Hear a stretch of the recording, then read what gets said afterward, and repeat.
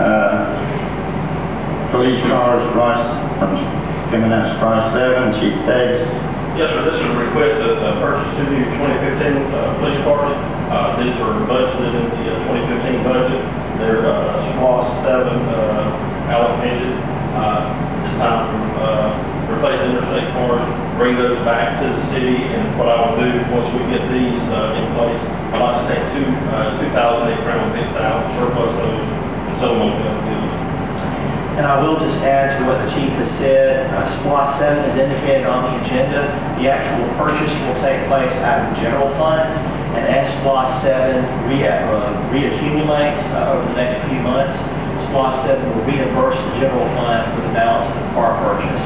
And I have confirmed that arrangement with the city auditors as well, that that is satisfactory. What is SPLOST running percentage wise of what we estimated to what we actually? It- It's collecting about 85%. How long will it take us to accumulate and transfer the funds? Approximately four or five months. I got a little bit of uh, bad news today. When I talked to Party Chevrolet, Chevrolet, they were right in the middle of the year, so if we uh, requested them tomorrow, it's gonna take about eight weeks for them to get here.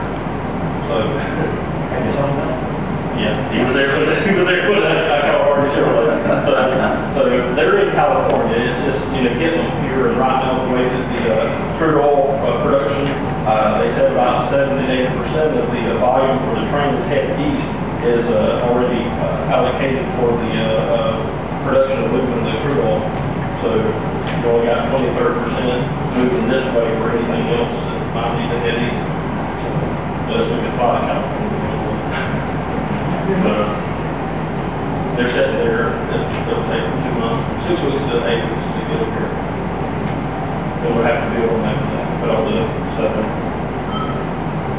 Uh, I have a allocated these this budget, why is SPLOST so low? We've been overspending some of the areas in SPLOST. No, sir. Uh, has been obligated for a couple of large projects over the last several uh, months. Um, One large obligation was for the in situ form uh, inflow and infiltration project. That was approximately $200,000. There was another large project for the purchase of the uh, property in the center of town from the railroad.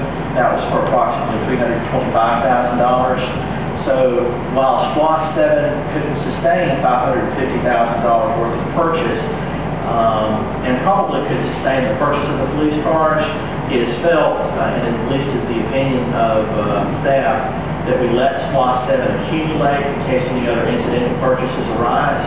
Uh, Never know what's around the corner, and just let that uh, accumulate before it reimburses the general fund. Right, we also had a $50,000 project that was not anticipated for uh, correcting the reverse grade problem at uh, the Tuttle House Harvey's. So the only thing that not been allocated is fifty thousand dollars on this SPLOST account so far this year. What's your say? Well, like I said, it's just, it's the opinion of staff that we allow SPLOST 7 to, to accumulate before we make the reimbursement to the general No, my question was, have we spent anything beyond that fifty thousand out of SPLOST this year, of SPLOST seven, that was not allocated? Allocations are made at the end of the year when budget amendments are passed for SPLOST. Because purchases are not anticipated at the beginning of the fiscal year, we have budget amendments that are passed in December, which account for all the expenditures made SPLOST. From what we didn't deal with that, that we had not spent more than just that fifty thousand, but we did have the, uh, in situ form, doing the manhole line I worked, the sewer line I. Well, that was, that was allocated. Yeah, that was out, that's what I'm saying, that we have the money in there, but we got the money and we're to have to pay that money out, and we don't wanna be broke. But we'll be using the half a year of SPLOST that we already got. Well, then, my, the answer to my question is no, we have not spent That's what I anything said. out of SPLOST that not been allocated, but with the exception of fifty thousand for the sewage. That's why I said, no, the only thing we spent, what now, it's fifty. Okay, that's, that was my question, it was simple answer. Yep. Chief, do you have uh, an idea of what the uh, surplus vehicles might We're running a surplus, uh, two, two thousand eight, and, and I, I looked on Gov today, and, uh, it can be anywhere from twenty-five to forty-five hundred dollars per car. So it could be five to ten thousand dollars in surplus. That would go back into miscellaneous income for, uh, general fund, also, what they typically, do. And also, what you heard, uh, the, our auditors, you know, they, they mentioned that we have a, a very good surplus in the general fund. What is the, uh, this cost, does that include outfitting the car? That's, that ninety-five thousand three hundred two fully equipped turnkey cars ready. That's got radios and everything, Everything. radar, the whole nine? Everything, that's what we break down this right here. Yes, sir, that's, there's, So, there's no other cost, that car, That's get it, right. get it at the back door, put the key in, you're on the road. that's it, all they have to do is take their personal phone and set it over the seat, on the seat hanger, and start controlling. So, yes, Right. Drop it, yes.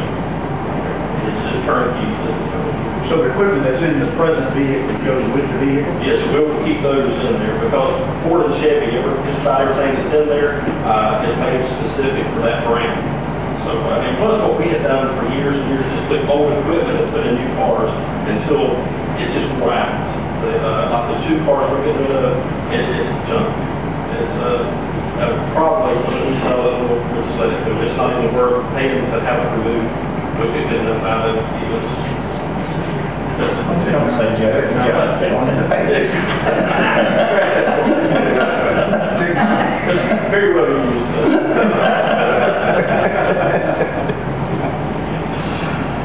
Okay, we got any more questions for Chief Davis?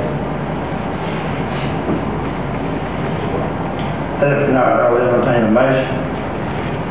Motion we approve, uh, two turnkey police cars, the expiration stated about the city manager, taking that out of the general fund and reimbursing the SPLOST. Okay, I have a uh, motion by Councilman Benjamin. Are there a second? Second. Second by Councilman Barfield. All in favor?